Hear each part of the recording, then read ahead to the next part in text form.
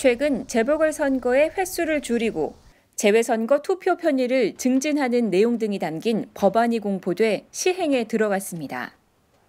지난 13일 시행된 공직선거법 개정 내용을 보면 우선 현재 연 2회 실시되고 있는 재보궐선거가 앞으로는 연 1회로 줄어듭니다.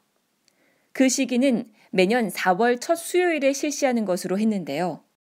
다만 올해는 이미 재보궐선거 실시 사유가 확정된 경우에는 예정대로 10월에 실시하는 것으로 했습니다. 다음으로 재외국민의 참정권을 강화하는 내용들이 개정 법률에 포함됐는데요. 이제는 국외 부재자 신고 및 재외선거인 등록 신청을 중앙선거관리위원회 홈페이지를 통해 할 수 있게 됐습니다. 이로써 직접 공관을 방문하는 불편함이 많이 해소될 것 같습니다. 재외국민의 참정권을 보장하기 위하여 이번에 등록 신청 신고와 관련돼서 내용이 개정되었습니다. 첫 번째로는 인터넷 홈페이지를 통해서 신고 신청을 할 수 있도록 개정이 되었고요. 두 번째로는 우편을 통해서도 신고 신청할 수 있도록 내용이 개정되었습니다. 아울러 재외 선거인 등이 귀국하게 된 경우에 국내에서 투표할 수 있게 됐는데요.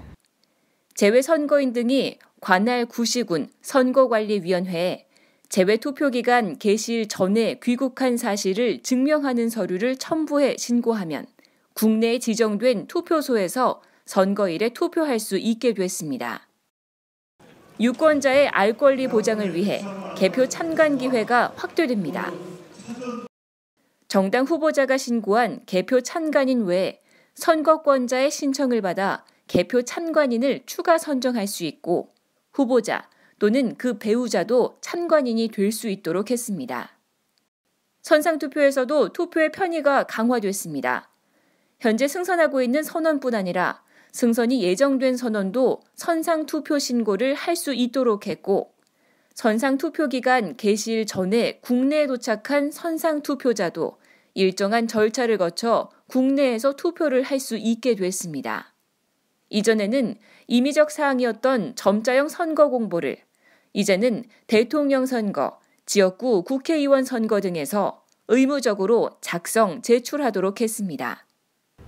시각장애 선거인들의 알 권리를 보장하기 위해서 그동안에는 점자형 선거 공보가 의무 제출이 아니었는데 이제는 의무 제출을 하도록 개정하였고요. 그리고 점자형 선거 공보를 제출하지 아니할 때는 책자형 선거 공보에 음성 지원이 되도록 전자적 표시를 하도록 해서 시각장애인들의 알 권리를 보장하도록 하였습니다.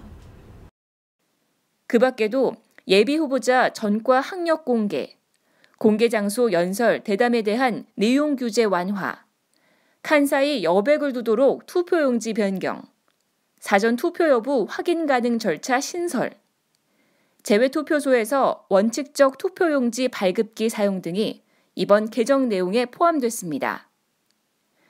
한편 지난 18일 국회 정치개혁특별위원회는 인터넷 언론사의 실명 확인 의무를 폐지하고 재외선거인 명부에 영구 명부제를 도입하고 재외투표소를 추가 설치할 수 있게 하는 개정안을 의결했습니다.